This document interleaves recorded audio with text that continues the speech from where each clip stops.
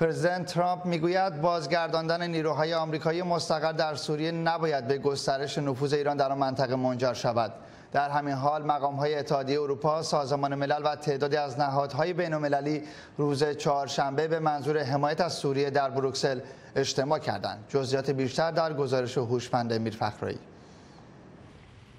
رئیس جمهوری آمریکا پیشتر خواستار خروج مستشاران نظامی آمریکا از سوریه شده بود و در مصاحبه خبری مشترک با امانوئل مکرون همتای فرانسوی خود نیز به صورت مشروط بر آن تاکید کرد.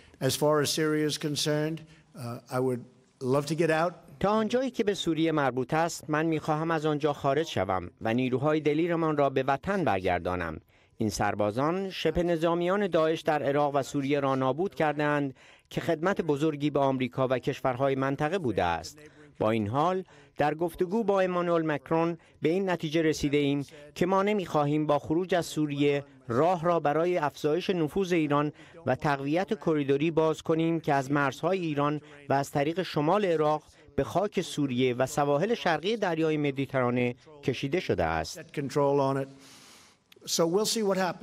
در خبر دیگری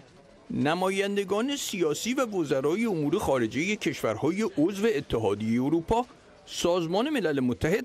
و تعدادی از نهادهای دولتی و خصوصی از خاور میانه و سایر نقاط جهان روز چهارشنبه در کنفرانس حمایت از آینده سوریه و منطقه که در شهر بروکسل در بلژیک تشکیل شده بود شرکت کردند. Uh,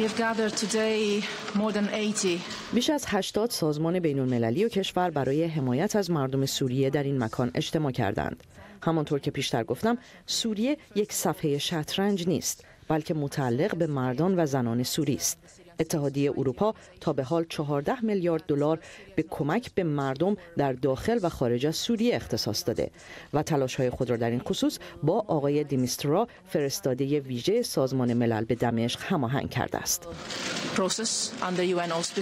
در همین حال استفن دیمیسترا فرستاده ویژه سازمان ملل به سوریه می‌گوید دولت بشار اسد